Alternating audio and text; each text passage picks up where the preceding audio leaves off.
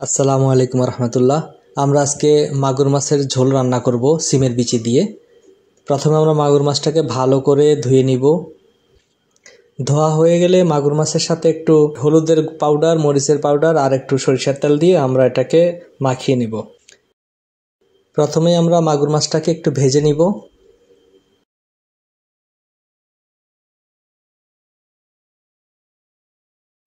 ভাজা হয়ে গেলে তারপর আমরা কিছু আলুও এই তেলেই একটু ফ্রাই করে নিব। অলরেডি সিমের বিচি রেডি কিছু সিমও রেডি এবং হলুদ, মরিচ, ধনিয়া এইসব পাউডার এবং কিছু গরম মশলাও রেডি করা আছে। সময় মতো আমরা সব দিব ইনশাল্লাহ।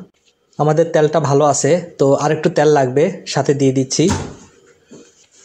অল্প কিছু গরম মশলা আমরা দিয়ে দিব প্রথমেই।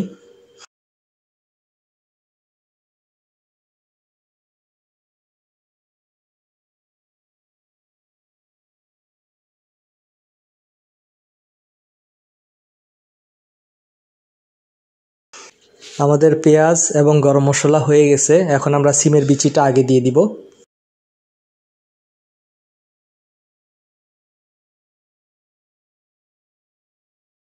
এবার আমরা আমাদের যে একটা সিম আছে, সেটাও সাথে দিয়ে দিব।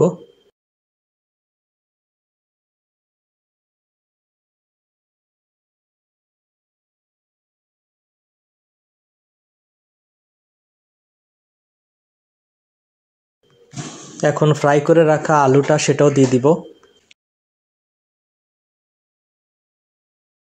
মরিচের পাউডার ধনিয়া,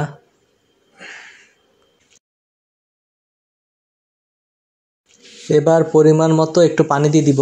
যেহেতু আমরা ঝোল রাখব, তাই পানি একটু বেশি দিব।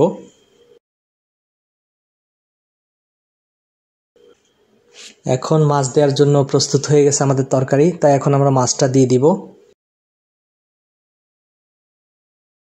মাছটা দিয়ে আবার কিছুক্ষণ ঢেকে রাখব।